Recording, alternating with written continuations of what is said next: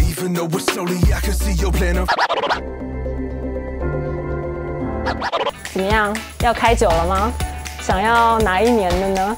没有啦，这个呢是防潮箱。通常呢，我的比较好的包包，皮件的包包，就会住在这个小豪宅里面。噔噔，这就是他们家的经典系列。这个呢，其实是我第一次演完台语剧。于是呢，我就买了我人生中的第一个精品。那人生中的第一个精品呢，一定就是要非常的经典款，然后呢，可以背个二十年。那现在呢，我妈妈就也常常背它，因为她觉得就是。就算它经历了非常久的时间，它还是非常的耐用。当然，有没有很小很可爱？其实我那时候买它的时候还不流行这种小 size 的包包。拍世间情的途中，不是有一阵子郭佳佳失踪了吗？然后那阵子呢，我就刚好带我妈妈去日本度假，我就想说，天哪，我每天日晒雨淋，然后被车撞，所以我觉得一定好好犒赏自己一下。再来呢，介绍大家这个 Kelly 好了，它是我。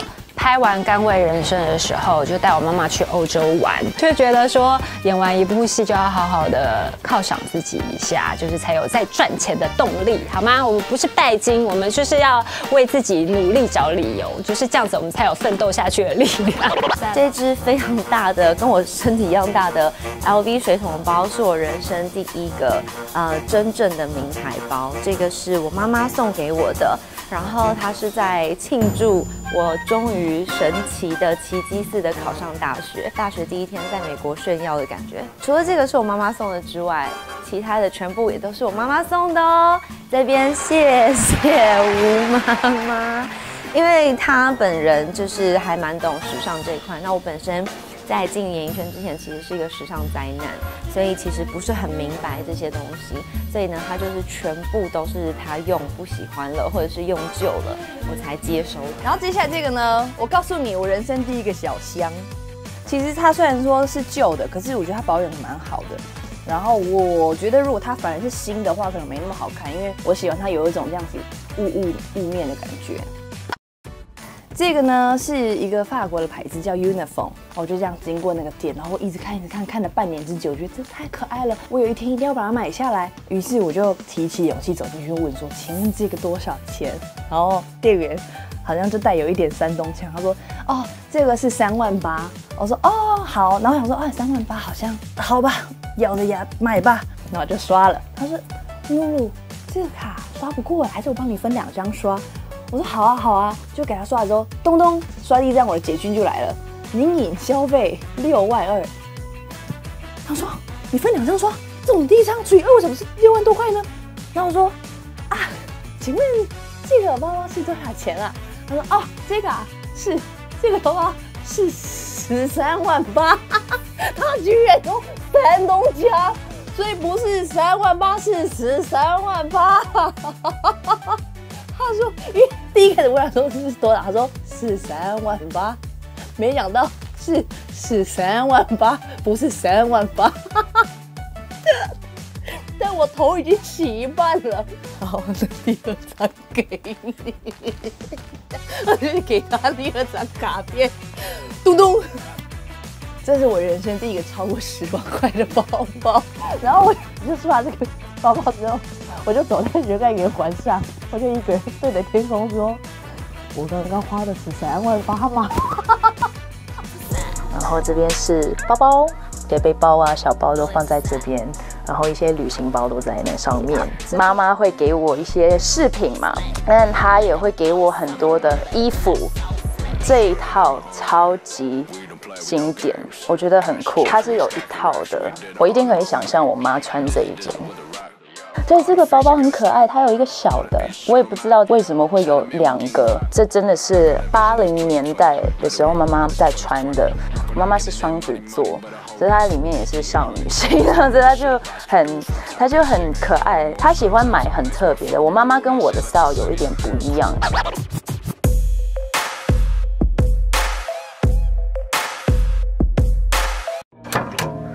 比较特别的就是，这是我第一个自己买的包包。那时候是在高中，我记得好像是 John Galliano 帮他们设计的。我那时候就喜欢 denim，所以我就选了一个 denim 下。这一区要好好慎重的介绍，以表示我的慎重。我要去换一套晚礼服 来介绍，没有开玩笑。这一区呢很慎重哦，大家一定想要看这一区，对不对？就是包包区喽，准备好了吗？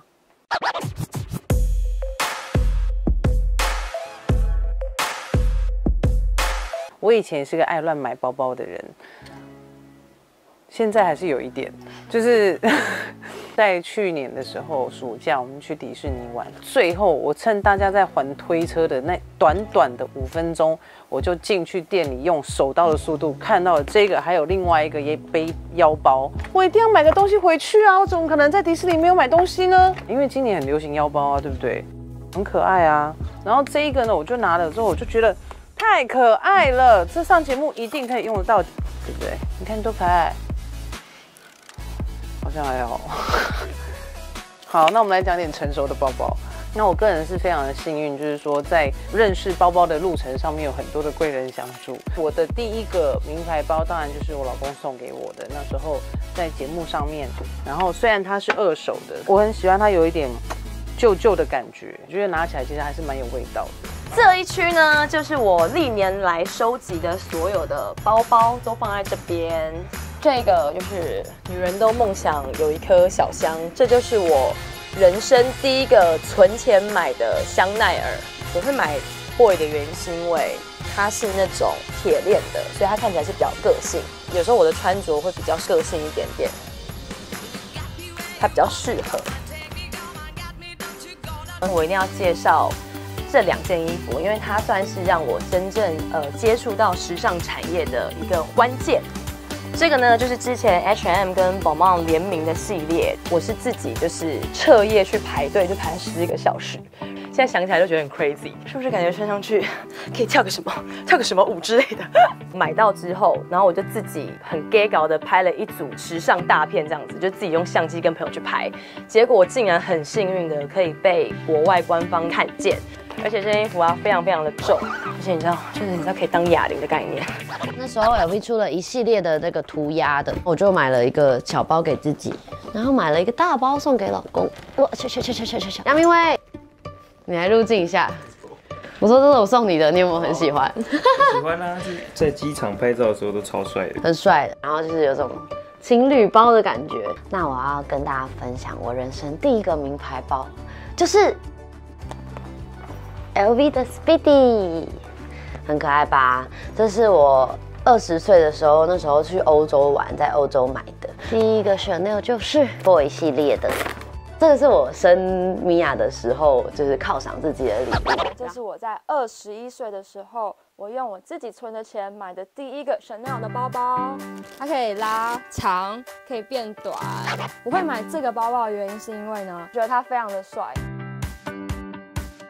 第一个悬吊就买那么大，第二个宝物就是 LV 跟藤原浩的包包。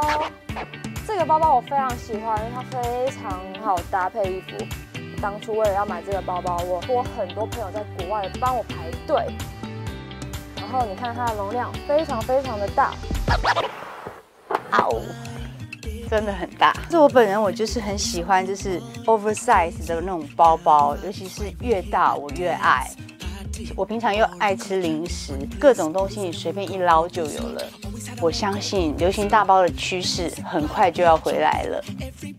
这是我在日本的古董店找到的，对，因为我觉得它很有味道，它就是我我自己称它为母子包了。就像妈妈跟女儿，这还可以拆掉，所以我觉得很喜欢它，很有很有气质的感觉。我是台北的身体，但是我的灵魂是花莲的灵魂。那我一直非常向往像这样子，就是淳朴大自然的生活，对于这个环境就是相当的热爱。那你们现在看到的呢，是我在花莲家的衣柜买的第一个名牌包。选这个包包的原因是因为我很喜欢它设计的这个上面有很像雕刻的图案，这些图腾，然后还有这个牛头，就是它带有一点的强悍。可是呢，整个包包的造型又是相当的女性。那时候一看到我就觉得，好，少吃一点没关系。